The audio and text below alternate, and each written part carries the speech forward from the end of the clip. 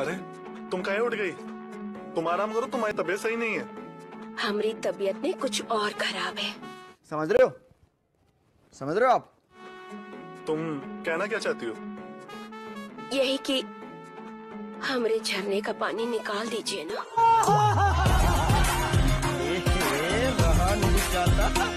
ऐसी है ना? वरना भर के ये फट जाएगा। करना चाहती मैं भी बैठा मस्ती में खड़ी है तो फिर आग लगी